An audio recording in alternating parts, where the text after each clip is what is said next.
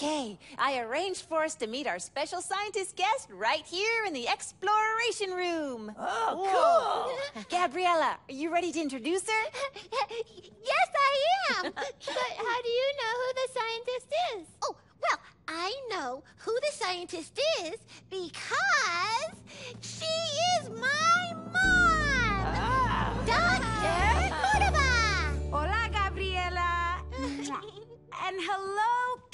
kids. How wonderful to see you. Hi.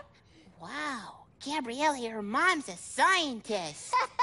I know. She gets to do lots of cool stuff. Wait, wait a second. Hold, hold on. Um, cause thi- this is really strange. Uh, Dr. Cordova, well, you're a lady. Well, yes, I am. Yeah, but I thought girls can't grow up to be scientists. Gerald, girls can grow up to be anything they want to be. Especially scientists. Oh, well, that's good to know. Uh, oh, wait a second. Um, yeah, see, I, I told May, um, that, that she can't grow up to be a scientist because she's a girl. So, um, well, May, I'm, I'm really sorry. Oh, it's okay, Gerald. You were just confused. I Well, I think so too, May. I'll show you a project I'm working on with the Science Center. Come on over here. Okay. Come on, let's go. Oh, wow.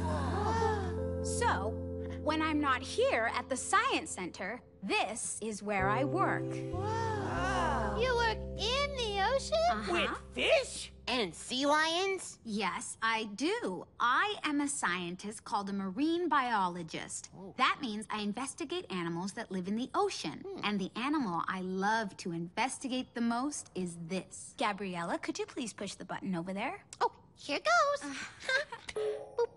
Ah. What do you investigate about whales? Buena pregunta. Good question. Gabriela, could you please push the other button over there? Coming right up. Ah. Listen. It sounds like they're singing. Yeah. Ooh,